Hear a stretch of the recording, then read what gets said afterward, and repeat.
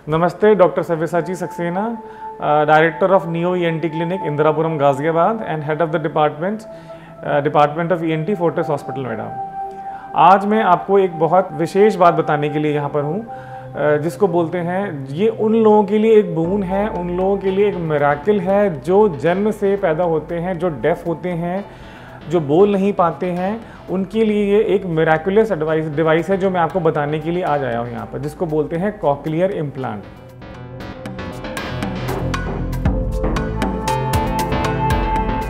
बच्चा पैदा होना it's it's it's a god gift कोई चाइल्ड अगर डेवलप हो किसी विकृति के साथ, किसी एबनोमेलिटी के साथ, अगर वो सुन नहीं सकता, अगर वो देख नहीं सकता है तो it's it's a curse it's a curse not just for the child but for the parents also कि उनके लिए बहुत बुरी बात होती है। अभी तक हमारे पास बहुत कुछ नहीं था। All the science has been developing so far but अब हमारे पास कम से कम एक बहरे बच्चे को हेयरिंग देने के लिए डिवाइसेस हैं। Now that we have come up with these kind of issues and we are doing it very well and successfully in our hospital at our clinic Uh, कोई बच्चा uh, गूँगा नहीं होता है लेकिन जो बच्चा सुन नहीं सकता है वो बोल भी नहीं सकता। जैसे जो बच्चा इंग्लिश घर में पैदा होगा वो इंग्लिश बोलेगा हिंदी बोलने वाले घर में पैदा होगा हिंदी बोलता है जर्मनी बोलने जर्मन बोलने वालों में जर्मनी जर्मनी बोलेगा।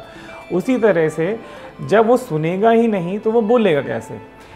इसलिए जब तक जो बोल नहीं पा रहा है, पहले उसकी हेयरिंग टेस्टिंग करनी ज़रूरी होती है और अगर वो हेयरिंग सुनने लग जाएगा तो वो बोलेगा भी ज़रूर। जो बच्चे गूँगे बहरे होते हैं, उनके लिए बहुत ज़रूरी है कि ये जो भी स्क्रीनिंग या जो भी प्रोसेस है, शुरुआत के दो साल के अंदर ही करवा ले तो सबसे बेस्ट रहता है बिकॉज़ यही डेवलपमेंट का पार्ट होता है, जब ब्रेन का मैक्सिमम डेवलपमेंट हो रहा होता है। तो इसलिए बहुत ज़रूरी होता है कि अगर आपका बच्चा पैदा होता है और आप शुरू के दो तीन महीने में नोटिस करते हैं कि he is not responding well to the sound अगर बर्तन गिरने पे, आवाज़ देने पे वो रिस्पॉन्ड नहीं कर रहा है, गर्दन नहीं घुमा रहा है या किसी तरह का कोई रिएक्शन नहीं दे रहा है तो आप तुरंत टेस्टिंग कराएँ all the government of India ने एक स्क्रीनिंग प्रोग्राम शुरू कर रखा है कि जो भी बच्चा पैदा होता है डिस्चार्ज होने से पहले उसका एक ओईई टेस्ट किया जाता है, जिसमें कि उसके अंदर कान की सुनने की क्षमता चेक की जाती है। बट बहुत सारे सेंटर्स पे ये अवेलेबल नहीं होता है तो वहाँ पर आपको अगर वो मिस हो गया है तो शुरुआत के दो तीन महीने में टेस्टिंग ज़रूर करवा लें। अगर बच्चा गूँगा है, बहरा है, नहीं बोल पा रहा है तो हम कुछ एक सी टी स्कैन एमआरआई करके देखते हैं बच्चे का देखने के लिए कि अंदर से उसका एनाटॉमिकल डेवलपमेंट यानी कि उसका जो विकास हुआ है, वो ठीक हो रहा है कि नहीं है। अगर वो ठीक हो रहा है तो हमारे पास इस तरह के डिवाइसेस आ गए हैं जिनको हम उनको इम्प्लांट करके सर्जिकली बच्चे को हेयरिंग की पावर दे सकते हैं। इसी में पहले हम मशीन लेके देते हैं कि अगर बच्चे का अगर हेयरिंग एड से काम चल सकता है तो हेयरिंग एड चला कर देख ले। बट अगर हेयरिंग एड से भी इम्प्रूवमेंट नहीं हो रहा है तो हम कॉकलेट इम्प्लांट करवाने के लिए एडवाइस करते हैं। कॉकलेट इम्प्लांट क्या होता है? इसमें दो पार्ट होते हैं, एक आउटर पार्ट एक इनर पार्ट जो इनर पार्ट होता है, उसको सर्जरी करके आप कान के पीछे से अंदर डाल देते हैं कान के उस हिस्से में, जहाँ से एक इलेक्ट्रोड डायरेक्ट स्टोमुलेशन देता है आपके ब्रेन को।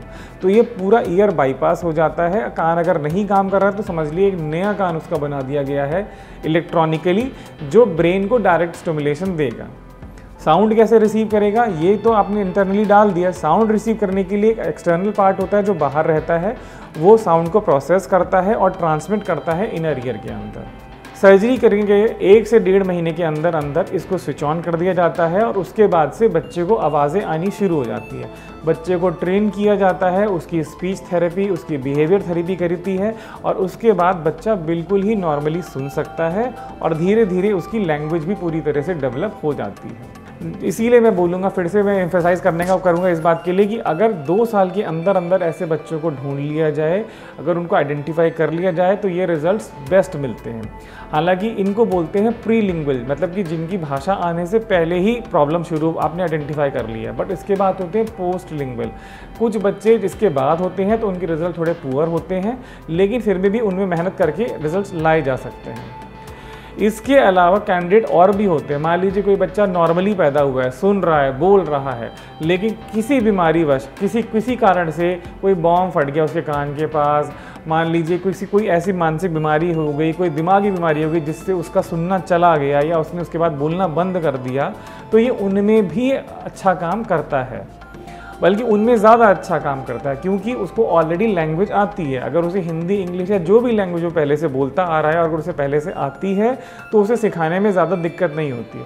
बस एक दिक्कत होती है, क्योंकि वो जो नेचुरल वॉइस होती है, जो गॉड गिफ्टेड वॉइस है, वो थोड़ी इलेक्ट्रॉनिक वॉइस होती है तो बच्चे को ट्रेन करना पड़ता है बट ये बच्चे बिल्कुल पूरी तरह से नॉर्मली बोल सकते हैं। फाइनली मैं यही बोलना चाहूँगा, किसी भी गूँगे बहरे बच्चे को मायूस होने की ज़रूरत नहीं है। उनके पेरेंट्स के लिए आशा की किरण है। हमारे पास कॉकलेट इम्प्लांट है और आप we have we are getting good results out of it आप इसके लिए देखिए, थोड़ा महँगा ज़रूर है बट जो बेस्ट पॉसिबल सहायता होती है, हम उसके लिए करते हैं पेशेंट के लिए और रिज़ल्ट अच्छे मिलते हैं। धन्यवाद।